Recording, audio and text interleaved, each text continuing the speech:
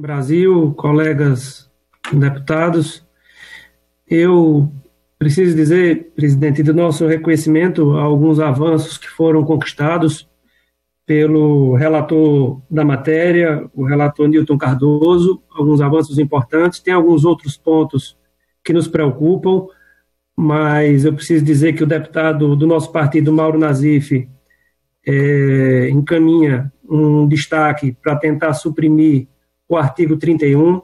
Nós precisamos fortalecer o nosso SESC e SENAC do Sistema S. Então, a gente não pode aprovar uma matéria voltando no tempo. Nós precisamos é, fortalecer aquilo que faz bem ao Brasil. Eu quero aproveitar, presidente, para dizer da nossa preocupação com tudo que tem acontecido no, no universo do Poder Executivo. Presidente da República tem cometido equívocos a cada instante, é, a equipe já falando numa linguagem é, totalmente atrapalhada, as acusações feitas pelo ex-ministro Moro precisam ser apuradas pela Câmara dos Deputados, é exatamente nesse sentido que a nossa bancada já fez um encaminhamento de convite ao ex-ministro e também um encaminhamento de uma comissão parlamentar de inquérito que será importante para apurar o desejo sob a denúncia do ex-ministro do presidente da República em interferir na Polícia Federal, que tem um, um, um, papel muito importante no seio da sociedade.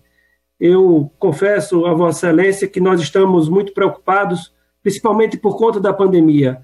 O presidente Bolsonaro, presidente Rodrigo Maia, não respeita o povo brasileiro, não respeita a Organização Mundial da Saúde, que diz que o único remédio que a gente tem nesse momento é o de ficar em casa, é o de fazer o isolamento social, é isso que tem que ser feito. E o presidente dá um péssimo exemplo à nação.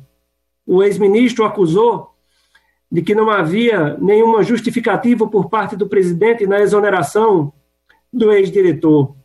E aí, logo depois, o presidente concede uma entrevista coletiva, mais uma vez afrontando a Organização Mundial de Saúde, o Brasil inteiro viu como se deu aquela entrevista coletiva e não justifica as razões do afastamento do então diretor. Estamos preocupados, presidente, com o futuro do Brasil, com o futuro da nação. Nós vivemos num Brasil forte, que tem muito futuro, mas o papel da Câmara dos Deputados será fundamental para garantir e nortear o futuro da nossa nação. Vossa Excelência tem tido um papel muito importante nesse momento. O Congresso Nacional, a Câmara dos Deputados, tem aprovado matérias importantes para salvar aqueles que estão lá na ponta sofrendo com os abalos causados pela pandemia na nossa economia, deputado Rodrigo Maia. Pode ter certeza que nós que pertencemos a um partido de oposição como o PSB, estamos sim na oposição construtiva, propositiva, não para fazer favor, mas porque essa é a nossa obrigação enquanto brasileiros, porque eu sempre digo, estamos todos no mesmo barco. Portanto, gente, é hora de unirmos forças para seguirmos adiante, com o mesmo sentimento, salvar vidas no Brasil. Muito obrigado, presidente.